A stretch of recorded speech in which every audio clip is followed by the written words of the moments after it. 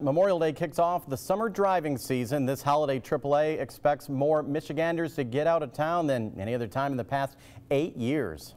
NBC 25's Kelly Taylor is live in Birch Run with a traffic update, and she tells us just how many people are expected to hit the road. Kelly?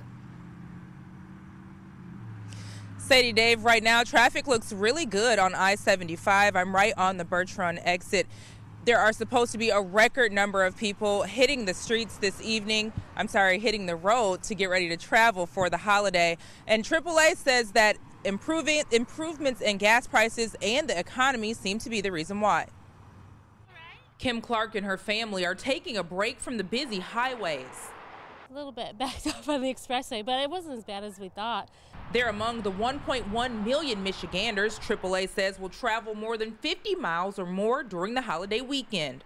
Of those travelers, more than 90% are expected to drive, and that could mean traffic backups.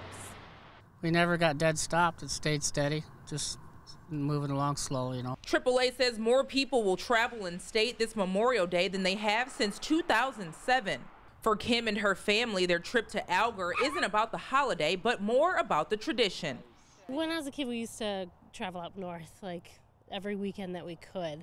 Um, it's really green, really pretty and fresh, and when it's a nice weekend like this, you want to spend as much time outside and in the sun as you can. Across the country, more than 33 million Americans are expected to hit the road. So wherever you decide to go, remember safety is the number one priority. Take your time, uh, concentrate on your driving. If you're driving, you're driving. AAA says about 60,000 people are expected to ditch the roads altogether and fly out of state. Live in Birch Run, Kelly Taylor, NBC 25 News.